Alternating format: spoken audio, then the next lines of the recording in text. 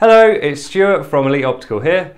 Today we're going to take a look at the new high-spec Thunder TQ50 from HIKMICRO. So this is a truly flexible product and it can be used in one of three ways. So as we have it here, we've attached the Picatinny rail, that can go straight onto your rifle and that has 2.6 times optical mag built in through this lens system. You can also quickly detach this rail and use this as a handheld monocular. So here's the Thunder in its front clip-on capacity. So we've attached a different lens, which is available separately, or you can buy it as a complete kit. That removes all the magnification and makes it easy for a scope to focus into. We've also then got a collar, which is attached onto our optical day scope. Although that's got a quick release lever, we recommend that you just fix this on and leave it. That attaches, the units line up with a camera style red dots. You turn, it clicks into place, and you turn this with a reverse thread, and it locks everything into place. So there's two separate systems for zeroing, and the lens is recognized by the unit, so it automatically changes the software that you see and the image on the screen depending on which lens system you're using and which configuration you're going to want to use the thermal image. This model sits at the top of HIKMICRO's thermal Thunder rifle scope series. So this can be used either as a rifle scope as we have it here with the Picatinny rail. You can also detach this lens and attach it to a conventional rifle scope as a front clip-on or you can detach the rail using this lens system and just use it as a handheld monocular.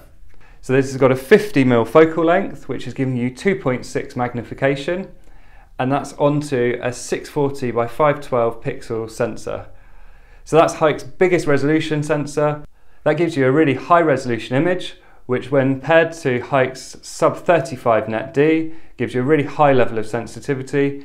You've also got an f1.0 lens system, so all of the available thermal information is hitting the sensor.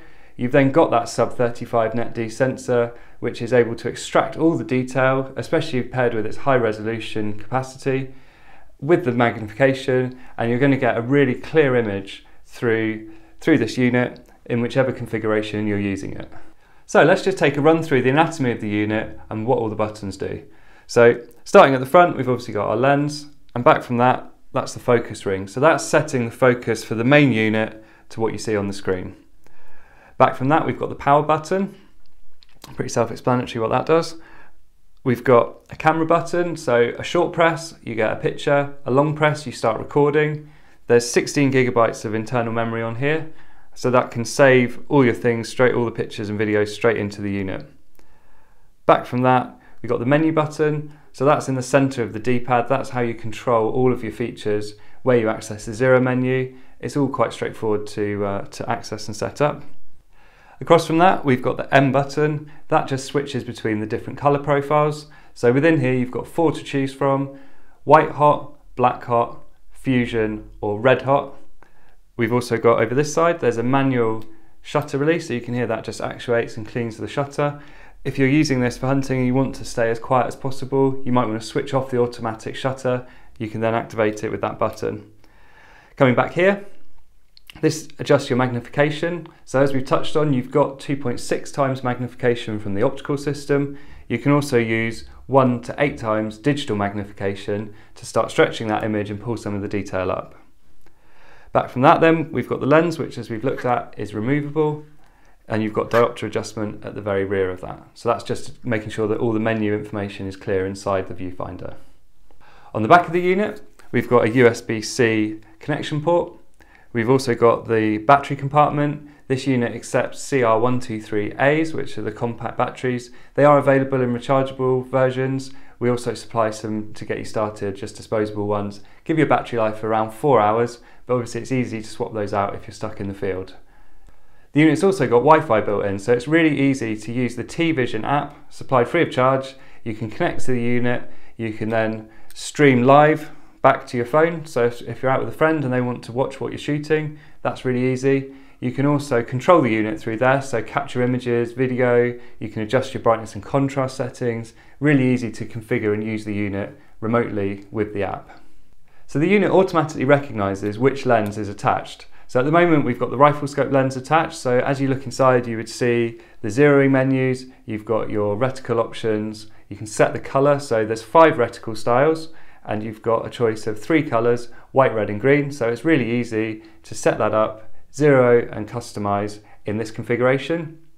If you swap into the clip-on lens, you get a different set of options which include are accessed through pressing these two buttons, the zoom button and the camera button. You can then just adjust the screen, zero it, and it you know it's then set up and configured into your to match your optical scope. You've also got the option of picture in picture which can be displayed in the top right, centre or left of your display.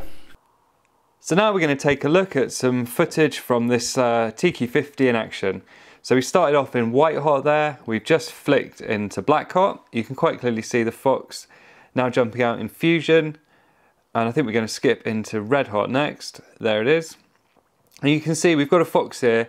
It's around 120 yards away. We're just going to mag up a little bit. So we're now on two times. Just jump back into white hot. You can see there's no pixelation as we move up through the uh, through the magnification. In fact, it's still giving a really clear image there, even on maximum magnification. You can also see the reticle changing as it interacts with the heat. That's just to make sure that you've got that point of contrast. The thing that really stands out with this image is the amount of detail, not just in the animal, but also in the surroundings. So you can clearly see the trees in the background, all the detail in the grass, in the hedge. You're getting a really good understanding of where this animal is in relation to its surroundings, you know, what's behind it. You're not taking a shot into the dark. You, you can see everything, lots of detail and information in the trees. That's coming from HIKMICRO's sub 35 NetD sensor. So that's able to pick up a lot of that detail and display it on the screen. It's also coming from HIK's f1.0 lens system, which makes sure that all the available thermal information is hitting that sensor and then able to be displayed into that image. He's off, and we're going to take a look at a different clip next. So here we've got another fox, similar sort of distance. We're in white hot again, but you can see there's a lot more there's a lot more uh, sky, there's a lot less detail in this um, in this image. That animal is really popping out. Um, but we can still see the trees in the background and we can see see the grass and it's, it is really clear what that animal is. There's no mistaking, that's a fox. You can see the detail in the tail. The fusion image also offers a lot of clarity. You can see it's also on the top of a hill. So you're not going to be taking a shot here. But you can see the detail in the tree. It's giving you that sense of scale as well. And here we go again, probably a little bit further this time, just cycling through the different colour profiles to give you an idea of how they display.